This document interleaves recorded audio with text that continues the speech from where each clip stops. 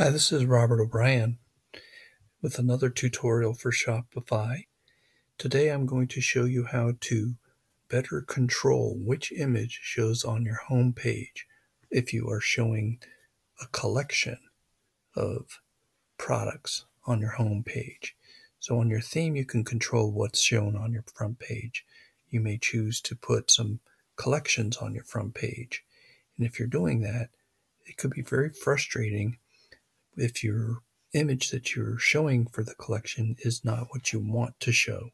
And today I'm going to show you how to better control what image will show up on the front page on your home page for your collection. So if you go to um, your page and you go to products and you go to collections, um, you'll get the page here.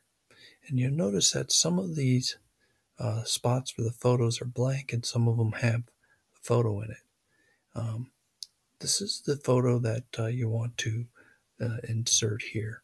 So we're going to go to this one here that's called all the items that are discountable. And um, this is on my front page. So I want a, a representative representative image that will um, show show on my front page. So I'm going to go ahead and click this open this collections page. And then if you notice all the way to the side here, there is a box that says collection image.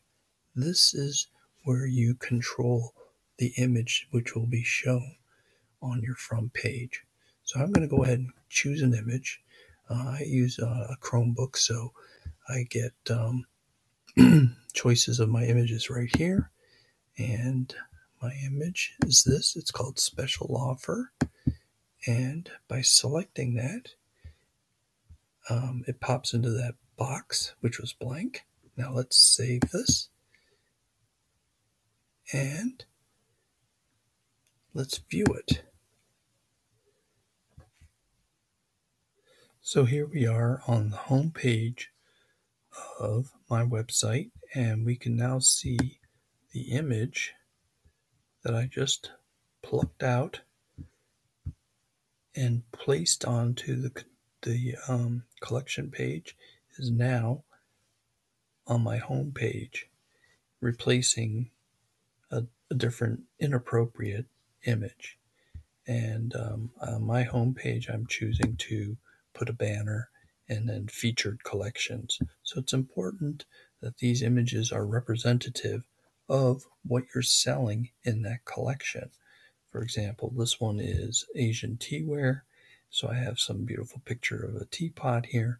And this one is all items that are discounted. And I have a picture of a special offer. Then the, the image is relevant to what's, uh, what's in that collection. So there you go. Thank you very much for watching my tutorial and good luck.